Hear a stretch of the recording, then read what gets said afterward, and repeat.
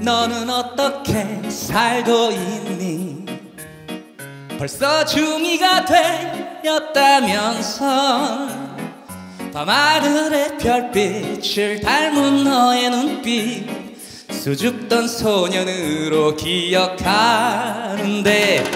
그럼 삼촌은 어떻게 지내요? 잘 지내. 요즘도 떡볶이 좋아해요.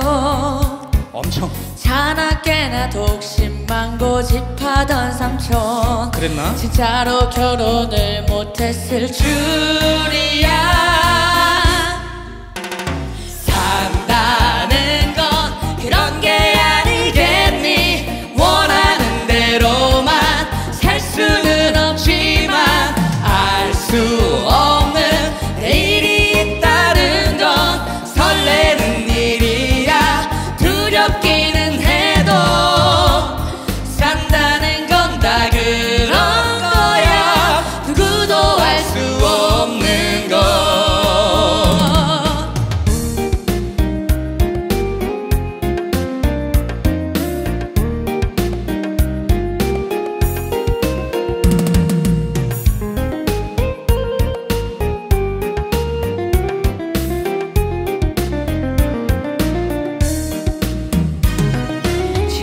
가끔씩 생각나요.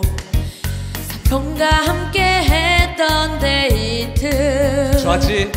장난감 사러 둘이 몰래 빠져나와 쇼핑하다 사람들 강만 봤던 일. 삼촌도 당연히 기억하지. 쇼핑하고 고기도 먹었지 하지만 다들 동원이만 알아보고 삼촌은 한 명도 못 알아보